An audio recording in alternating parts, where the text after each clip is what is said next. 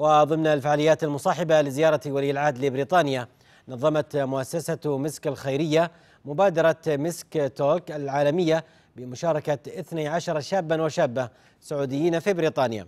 واستعرض المشاركون في المبادرة قصصهم الناجحة التي تعد ملهمة لجميع أبناء المملكة في الجوانب العلمية والعملية. وتناولت المبادرة عرض التجارب في المجالات الصحية والبحث العلمي والتقنية وتكنولوجيا النانو وريادة الأعمال.